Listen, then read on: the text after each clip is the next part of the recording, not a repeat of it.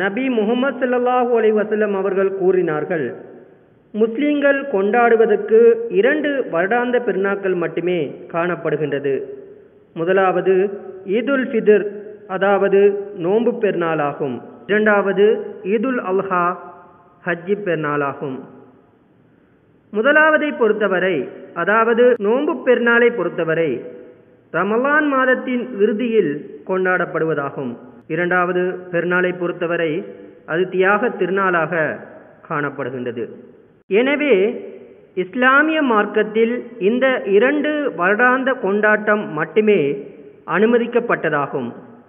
அதேவேளை நபி முகமது சல்லாஹூ அலை வசல்லம் அவர்கள் கூறினார்கள் முஸ்லிம்களின் வாராந்த கொண்டாட்டமாக வெள்ளிக்கிழமை காணப்படுகின்றது.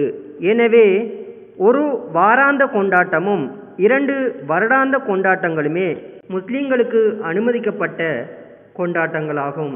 இதேவேளை வருடாந்த அடிப்படையில் கொண்டாடப்படும் கொண்டாட்டங்களில் நோன்பு பெருநாள் ஹஜ்ஜி பெருநாள் இவை இரண்டையும் தவிர ஏனைய அனைத்து கொண்டாட்டங்களும் இஸ்லாமிய மார்க்கத்துக்கு முரணானதாகும். அதாவது திருமண நாள் தாய்மார்களுக்கான தினம் காதலர் தினம் ஆசிரியர்களின் தினம் இது போன்ற அனைத்து வருடாந்த கொண்டாட்டங்களும் இஸ்லாமிய மார்க்கத்தில் தடுக்கப்பட்டவைகளாகும்.